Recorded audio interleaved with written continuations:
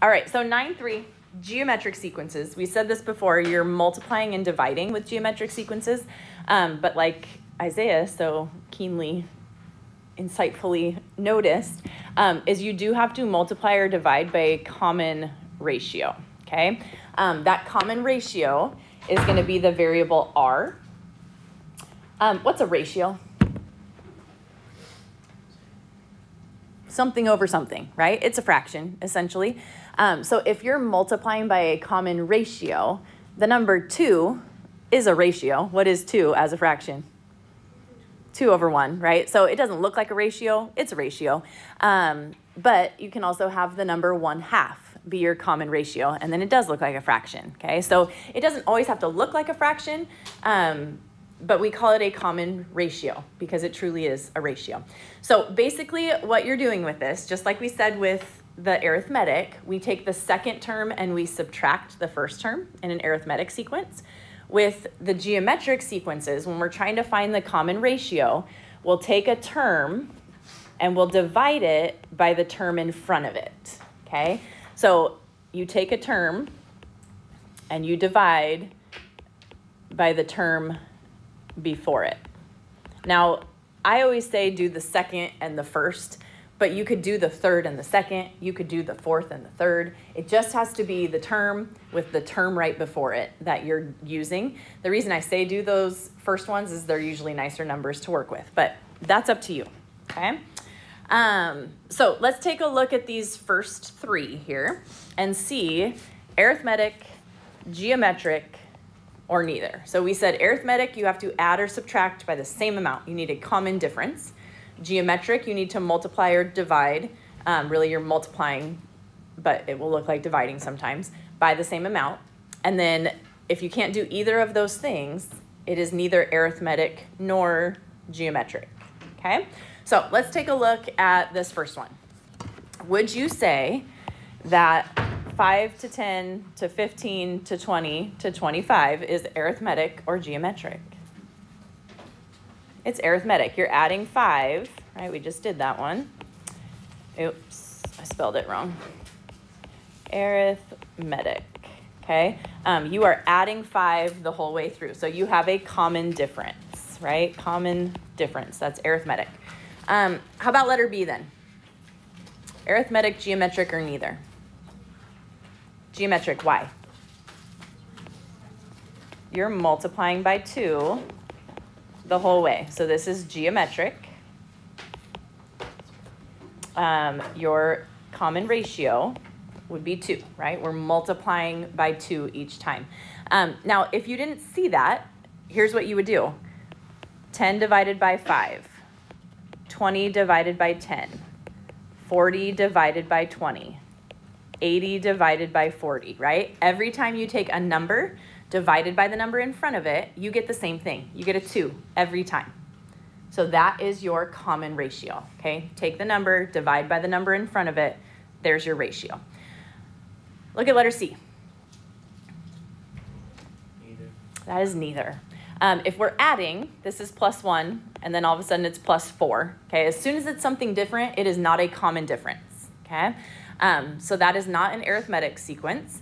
Um, so then try multiplying. To get from 1 to 2, you would multiply by 2, and then you'd multiply by 3, and then to get to 6 to 7, totally different again.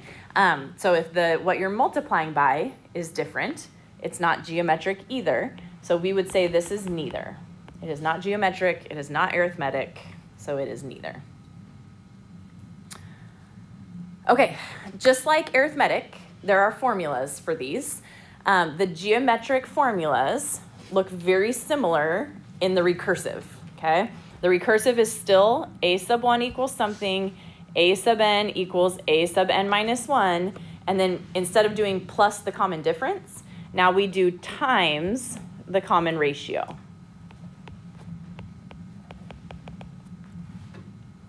Okay, but otherwise super similar, right? It really doesn't look that different at all. Um, the explicit formula looks a lot different.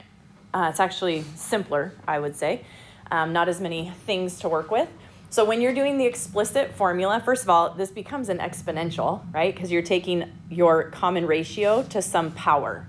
So to the n minus 1 power is what you're doing. Um, so this is still your first term. This r is your common ratio.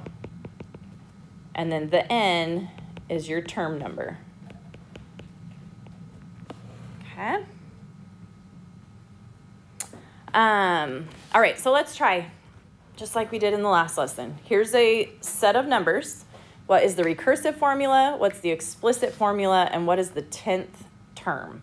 So the first thing I would do on these is figure out what is your R. How do you find R?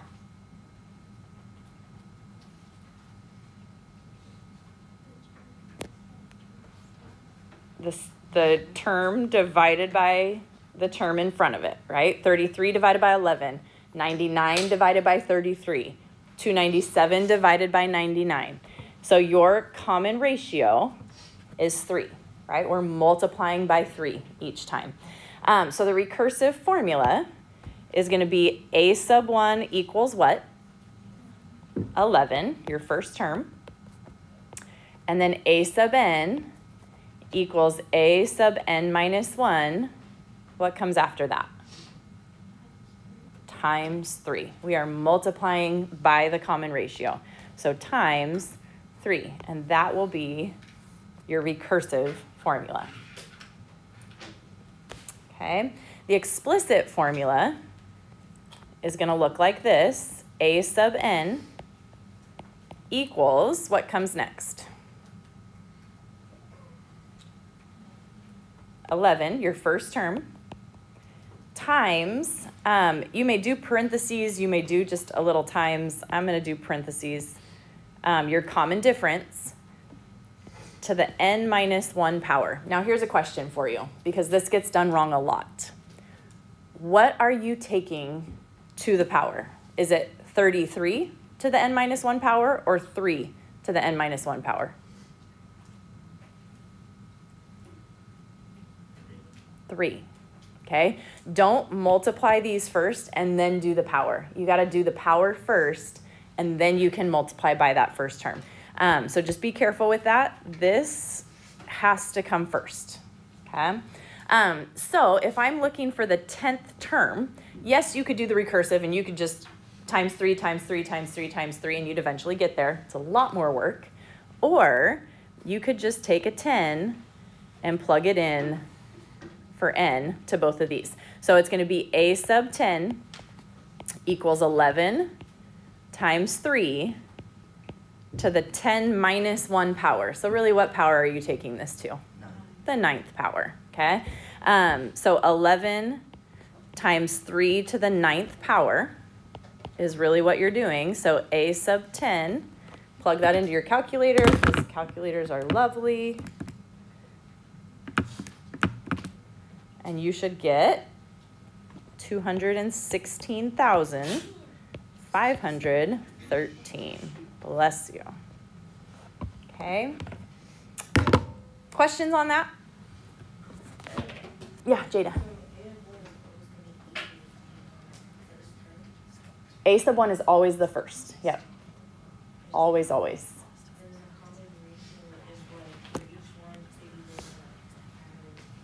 Yep, the common ratio, when it's a ratio, it's always division, right? So it's the second number divided by the first number. Okay?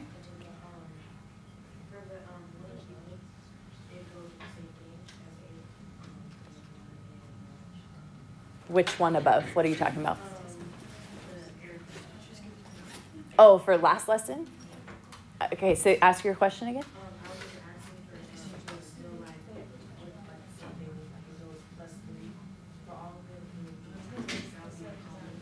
The common difference, yeah. And you take the second term minus the first term then. So if you're changing by the same amount adding, it's a common difference. So you take second term minus first term. If it's multiplying to get to the next one, then you do the second term divided by the first term to find your common ratio then. Okay? Okay. Um, so example three here, it says write the recursive, write the explicit. How do you find your R right now?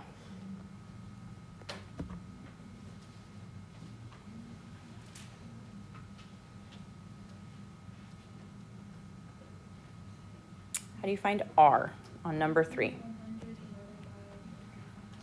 Yeah, take 100 and divide by negative 1,000. Okay, now if you plug that into your calculator, 100 divided by negative 1,000, um, you get this a negative 0.1. Okay, um, honestly, I'm I don't really care if you leave it like that if it's a number that's nice like that. If it's a number like 0.1 repeating, you cannot leave it. How do you turn that into a fraction? Math, enter, right? And then that will turn it into the fraction negative 1 tenth. Okay, so if you get something that's a bad decimal, don't leave it as that bad decimal. Turn it into the fraction and then use the fraction. Okay, um, so the recursive formula here a sub 1 is what? Negative 1,000. And then a sub n equals your a sub n minus 1. That will never change. What operation happens next? Plus, minus, times, divided by? Times. What are you multiplying by? Negative 1 tenth. Okay. Um, so that's your recursive. The explicit formula and again, it's just, it's this guy, right? We're just plugging in to that explicit setup. So it's a sub n equals what?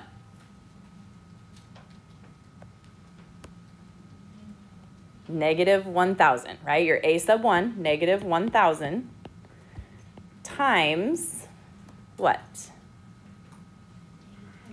Negative 1 tenth, your r value, okay? Um, I'm actually just going to turn this into parentheses.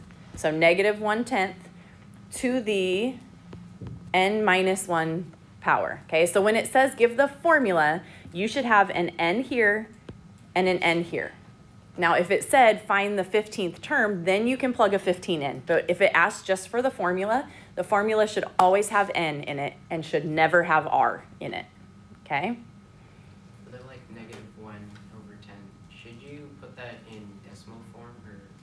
when you plug it in? Yeah. Um, I would I would plug this whole thing in my calculator, negative one zero zero zero. Oops.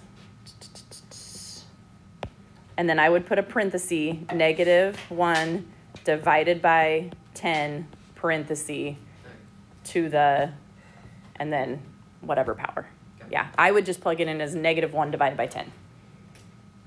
If you plug it in as the like point negative point one, you'll get the same answer. But it's just if it's like a negative 0.1 repeating, you won't get the same answer. So be careful with that.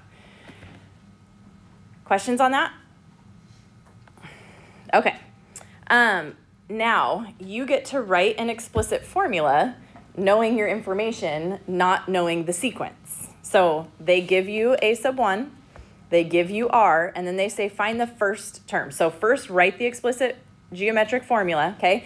Um, notice they tell you information here, right? They say write the explicit, we have two explicit formulas, geometric, so pick the geometric one, okay? So just the basic formula is this, a sub n equals a sub n minus 1.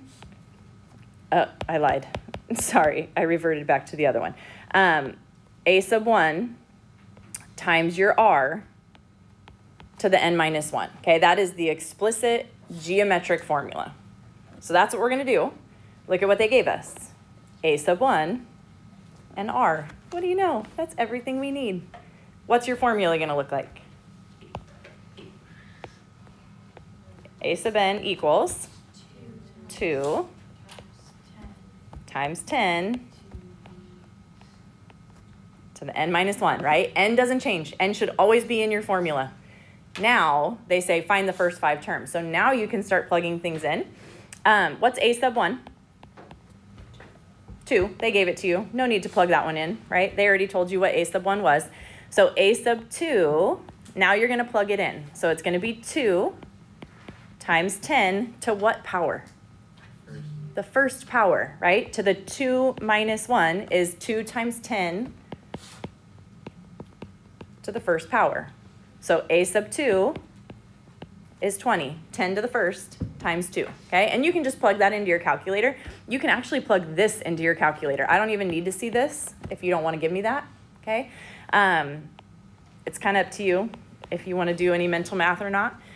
Um, so a sub 3 is 2 times 10 to what power? The second power. 3 minus 1, right? We're plugging in a 3 for n, is 2 times 10 to the second power. That is not 20 to the second power, right? It is 10 to the second, which is 100, times 2.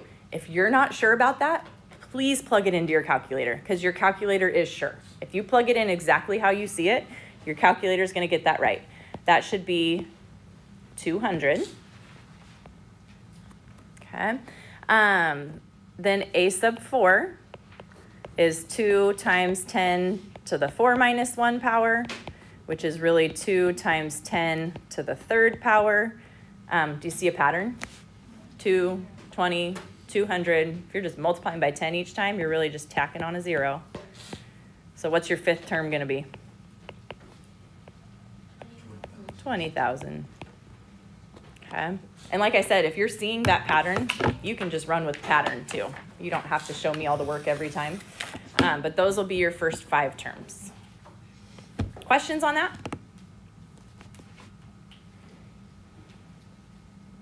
All right, last thing. Um, this looks very similar to arithmetic mean, but also very different. Okay, you're gonna your problems are gonna look very similar. I have two numbers and I want the geometric mean. But to find a geometric mean, um, you actually did this with me in geometry. Those of you that took geometry with me, um, remember geometric mean, we would always say a over x equals x over b, and we'd cross multiply, and x squared equals a times b till we take the square root of those two numbers. That's what we're doing right now, okay? The geometric mean, oops, that's not what I meant to do. Um, the geometric mean is taking your two numbers, multiplying them together, and then square rooting it, okay?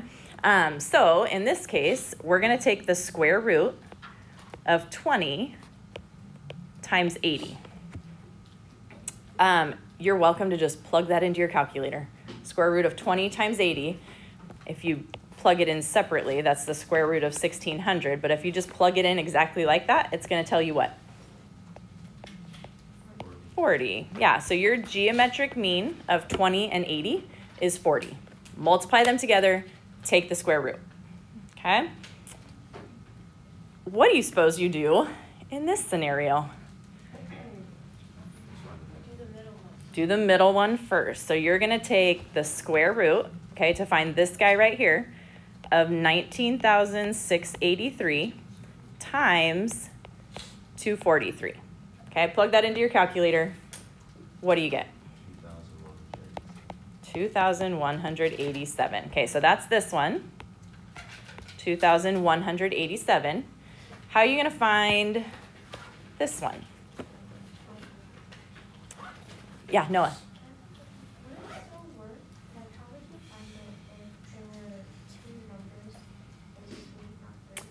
Uh, you wouldn't. Yeah, you can't. There is no good. Um, yeah, there's no good way to find like. You can't find the middle and then the like partial because we're multiplying and then taking a square root. It just doesn't work nicely with that. So you'll always have either three numbers or five numbers or seven numbers, right? So that you could always find what's perfectly in between the others. Yeah, that's a good question. Um, okay, so for this one, take the first and the third now. It's the square root of 19,683 times 2,187. And just make sure you're multiplying, right? It's easy to try to add because you're used to adding with the arithmetic mean. Geometric mean, you're always multiplying. So plug that in. You will get 6,561